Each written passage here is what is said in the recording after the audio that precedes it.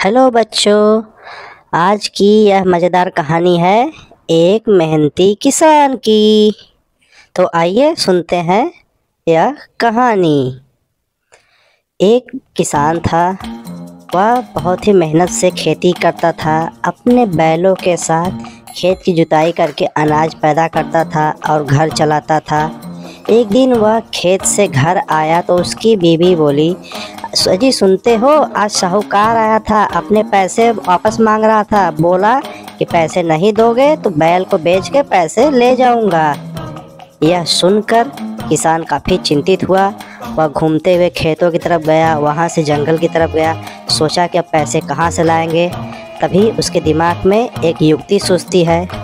वह तुरंत टंगारी कुल्हाड़ी लेके आता है। और एक सूखा हुआ पेड़ काट कर उसको बेच के पैसे जुटाने की कोशिश करता है।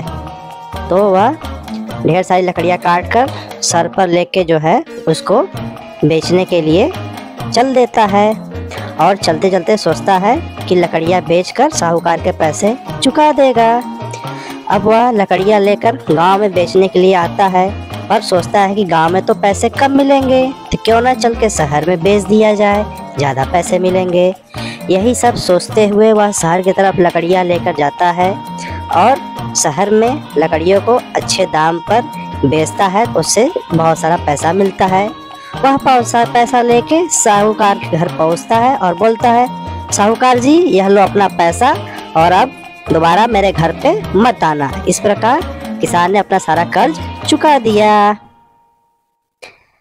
Please like subscribe share daily life three seven three seven